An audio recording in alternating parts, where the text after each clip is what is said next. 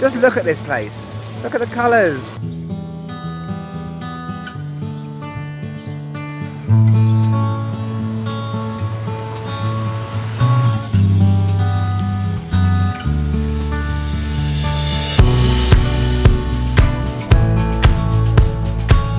Ah, right. Hola amigos and welcome back to Mexico. I am just attempting to walk down some steps without falling to my death, which can mean only one thing. You might be able to tell where I am and also you've probably seen in the thumbnail of this video. Yes, I'm back in Guanajuato. Back, yes. So I was here last year for about four or five days. About nine months ago, I filmed a couple of videos here and today is Saturday afternoon and I am beyond excited because today is the video you've all been waiting for, okay? I'm going to meet someone very special which you might recognise from another YouTube channel, someone else that's based in Mexico. Finally, this is happening. Let's get going. So I'm just heading to a cafe, but before we get there, let's take a bit of a look around Guanajuato. What are my opinions in terms of coming back here after nine months? So originally, when I was first here the last time, you might remember that I wasn't the biggest fan because of the tourist aspect. Yes, it's a common area for foreigners to come to in terms of tourism. However, those feelings quickly subsided and I fell in love with the place in terms of the beauty, the colour, the architecture. It's just absolutely stunning. And one thing I noticed coming here after nine months was the fact that I feel like my Spanish has got a lot better because I didn't have an issue finding my accommodation. I was speaking to people more confidently, you know. So it just goes to show that you can improve with a language even if you don't actively learn it. Fantastic. Yeah, this can be the arrived at the restaurant shot. Right, hola amigos. Again, it's a little bit later and I'm at a restaurant and guess who I'm with? It does this I, I need to be filming you. Hold on. Okay, so anyway, I'm at a restaurant and um, can you guess who I'm with? Look at swirls. Look who it is. One And then okay, and I'm, I look there, right? Oh yeah, look there, yeah. this is Erin. I will let her introduce herself. She's a bit nervous. I am. I have no idea. I was telling David I have no idea how to do this because I'm always the one holding the camera, and Yeah. it's a lot more comfortable to be the one holding the camera. I don't know what's going on right now. Control issues. Yeah. totally. So if um, you don't know Erin, which is extremely unlikely, let's face it, because we, we share many of the same It's true. We do. crazy We people do. who follow and watch these videos. Um, but yeah, for those people that don't know, Erin, tell a bit, tell us, tell the viewers a bit about yourself. Okay, Lovely. I have a channel on YouTube called Erin's Travels, very creatively named. Um, it's about me and my travels, and I have a husband named Jesse and a little girl named Harper who is going to be four years old in like two weeks, Bonkers. which is crazy. Birthday in Mexico. Feliz cumpleaños, Yes, Harper. she's very excited. Um, she's getting some dinosaur toys, and Oh, unfortunately, like we yeah, we had to get them for her while she was with us because we needed to get them in Leon, and so now she oh, knows about them, and Oh, no. so now every day it's like, is it my birthday yet? Because I know about these things Yeah. that you know. So yeah, Mayhem, carnage, havoc. it's As you like number one parenting rule. Yeah, don't don't do that. yeah, totally. I used to open Christmas presents before Christmas Day and then Did you wrap them up again. Don't tell my mum. She's probably watching this. hilarious.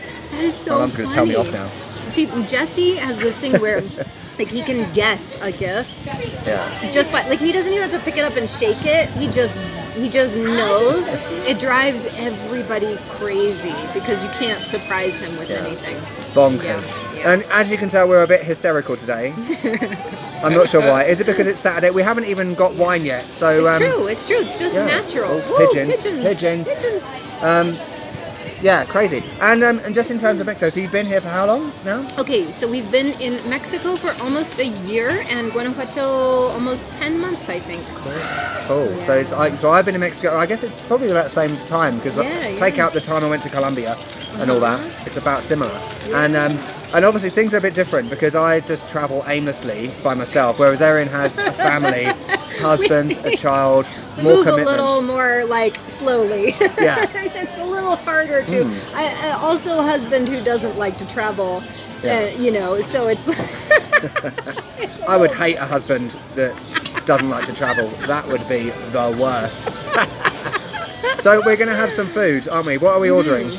So I'm getting enchiladas mineras, which is the typical dish of Guanajuato. So Awesome. And I'm just having, yummy. I'm being basic. I'm being a basic bitch. Enchiladas rojas, uh, which is the hot one, right? I don't know. Yeah, I think it is. Rojas probably. verdes. Yeah, Sorry, Mexi- Mexicans. it's red. It's all good. It'll be good. yes. It's hard to go wrong with enchiladas. you can't go wrong with any Mexican food. No, except for that thing. Oh, except from the, the hairy kangaroo anus. Don't tell them about Oh, that. yeah. I think they've seen that now. That video's already gone up. Yeah, it has. It has. right, enough of us talking like idiots for a moment. Here is the food. So I have enchiladas rojas, enchiladas, chicken, I guess, cheese, onion, rice, arroz. Oh, here comes Erin's sangria. Wonderful. And what have you got, Erin? Let me Okay, so just. Um, is- oh, one second. Oh, Oh, oh, no, it's fine. The lighting is still bad. It's fine. So this is enchiladas mineras. There are enchiladas down here, sometimes cheese, perhaps cheese, um, and then potatoes and carrots, and it's always topped with chicken. But depending on where you go, the chicken could be different. Sometimes it's uh, a thigh on a bone. Sometimes it's breaded and fried. So Hmm. the chicken is uh, is always going to be a fun surprise. Awesome. It looks a bit like what I had in Querétaro with the carrots and potato, the big chunks. Yeah, so good. Awesome. So good. Where you've positioned this device. yes. well, cheers everyone. We're doing a cheers. What is it? Salud. Salud. Ah, see? We can I speak mean, Spanish. I don't know. That I always say that when people sneeze. So Oh yeah, the taxi driver said that to me the other day. So I have uh, vino tinto and and sangria. sangria, which we can now say. Sangria, not sangria. Just gonna, s- We are the start best eating. at Spanish. Yeah, let's Yes. start eating. Yum. The very best. This is another thing I'm not used to. Two people on camera. Trying to frame it. What is that about? Possible. And I'm taller. That's right. Oh, somebody said that to me in the comment. They're like, "I saw you in Guadalajara. I was really surprised. I thought you were taller than that." I'm like, no, sorry to disappoint. I'm a wee little person. Finally, I'm a YouTube couple. Yes.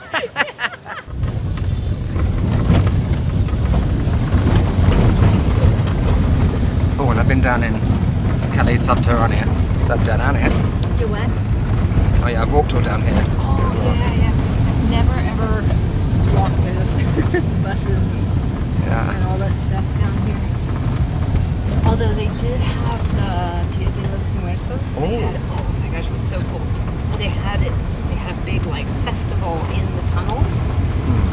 Right, it's just me again now. I've had a glass of wine. It's weird just being me again. It's very strange. Erin is over there. I've got someone photobombing me. Who is this? and we're just about to film um, a collab. I'm doing a collab for the first time ever. Amazing. um, so Er- there will be a video on Erin's channel at some point. We're both talking about how the fact we were feeling a bit lax. Lax is a great word with uploads. It's difficult because just to clarify everyone, we can't upload videos as soon as we film them because we need to edit them. It takes time. Okay, so it's time to get filming. Now you, now you're the interviewer. Now I'm the interviewer. In case you don't get that reference, we have just filmed a couple of videos for Erin's channel. They will be coming up momentarily. as as fast as Harper can edit them. Absolutely. Good old Harper. I need a Harper. I know, right? Child labor. Yeah. It's, it's a great thing. Preferably in a dinosaur costume. That would be great. Yes. So, to end this video, we're going to do a bit of a thought of the day, as we like to do. As you do. So, you might remember I did a video recently in Mexico City where I had a complete meltdown in terms of long term travel and everything. And um, Erin would like to give her thoughts on this, on the point of long term travel and the realities of it. And sometimes it's not great, sometimes it's not perfect, and the fact that some YouTubers are not necessarily genuine. We are.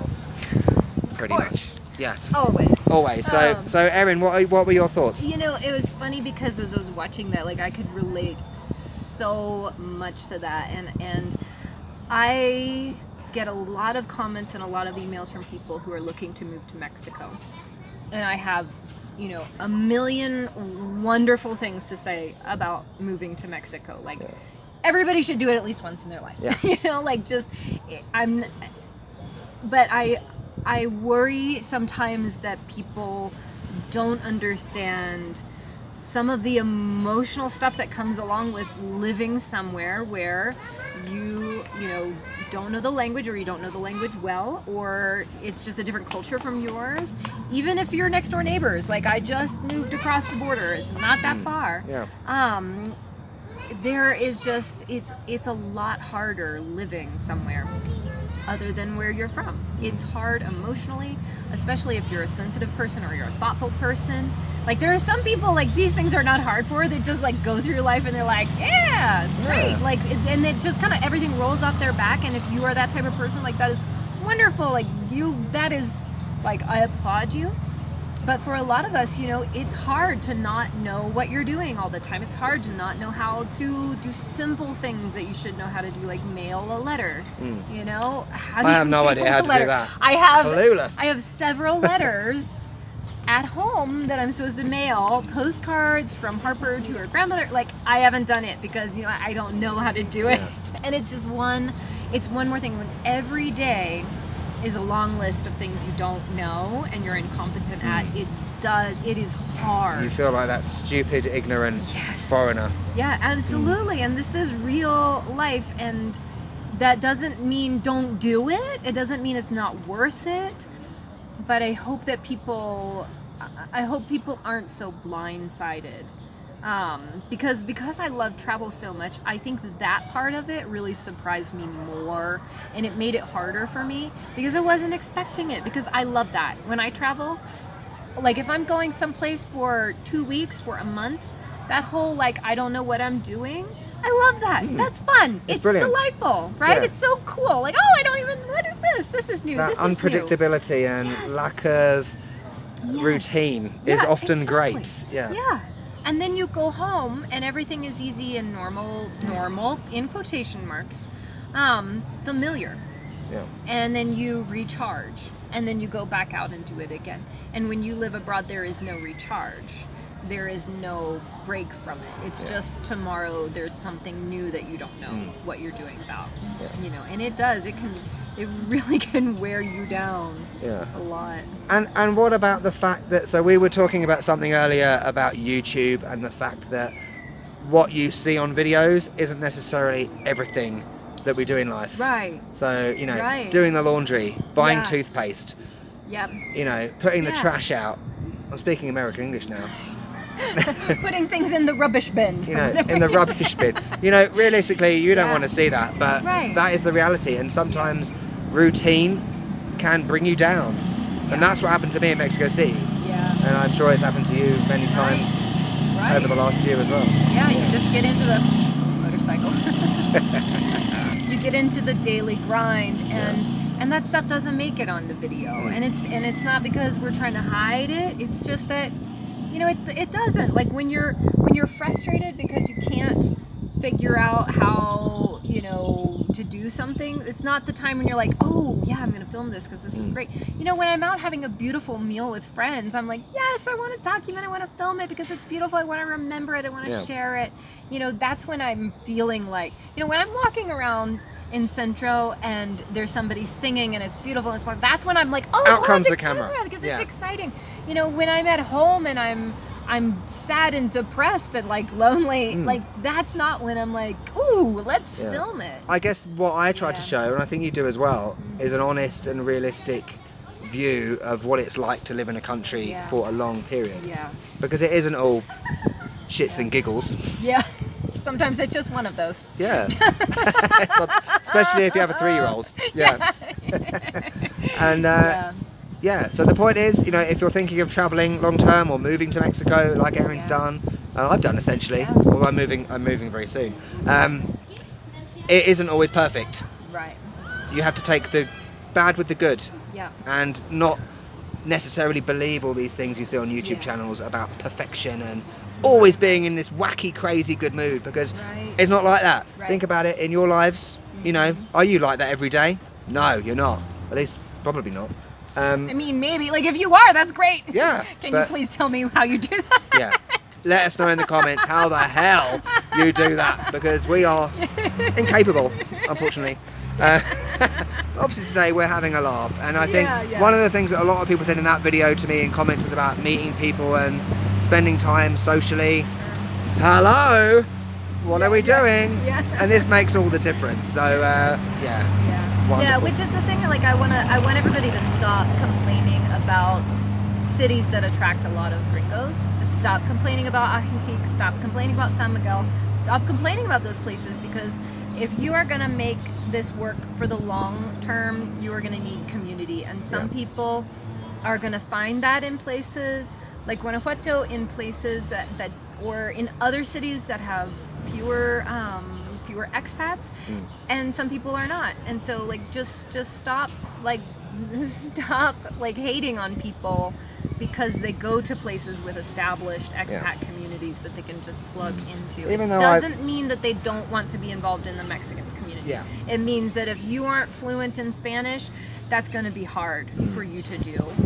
So That's amazing advice because I think I've been a bit negative about that in the past. Oh, I in have the, too. You know, oh, it should be the real Mexico, and don't Yeah. go to Vallarta or Cancun. But actually, the longer I've been here, I think it would have been easier for me if I'd gone to somewhere like that. same. To in, it would be easier to Same. integrate rather Yep. than having that shock of rocking up in Doctores in Mexico City. when you're traveling somewhere, don't go to the tourist places. When you want to live someplace, don't discount them. Hmm. Absolutely. Thanks for watching, everyone. Watch out for Erin's videos as well. They are absolutely immense. they're they're going to be beasts to beasts. We are going to break the internet. So if you want us to break the internet, don't forget to hit that like button, leave a comment down below. She knows what she's talking about, and subscribe to me, obviously. But also subscribe to Erin if you haven't already. The bell. The, Oh, the bell the- thing. Do the bell. Yeah, do the- Not Taco Bell. the What's it called? bell. Yeah, the notification bell. Yes. Yeah, wonderful. Now we better do a, a thumbnail for the video. Oh, right. Is this Mexico? Job done. So thanks for watching, everyone. It's goodbye from me. Sorry, there's a bug. It's goodbye from me, All right. See you later. Bye. and we'll catch you later.